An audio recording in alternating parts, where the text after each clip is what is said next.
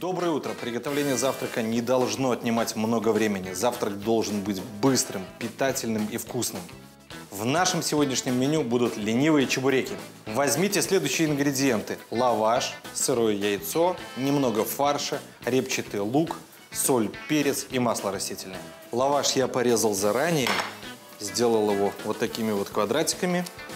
Теперь будем готовить все остальное. Нам понадобится мисочка, фарш домашний, смесь 50 на 50 говяжий и свиной, одно сырое яйцо, головка репчатого лука, который мы нарежем мелко-мелко и будем добавлять в наш фарш.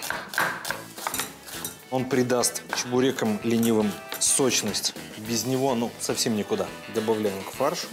Теперь возьмем соль, посолили и поперчили. Теперь это все перемешиваем. Наша начинка абсолютно готова. Сейчас мы будем выкладывать в наши чебуреки. Возможно, некоторые будут говорить, что это не совсем будет похоже на чебурек. Но это ленивый чебурек. Неровные края вы можете обрезать ножом. И вот у нас получился такой довольно-таки интересный красивый чебурек. Теперь мы его отправим обжариваться. Наливаем растительное масло на заранее разогретую сковороду. Будем обжаривать наш ленивый чебурек.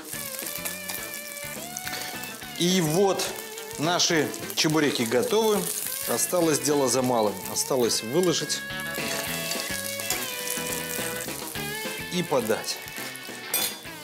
Мы можем также их украсить свежей зеленью, петрушкой или укропом, то, что у вас есть под руками. Вот наши ленивые чебуреки готовы. Приятного аппетита!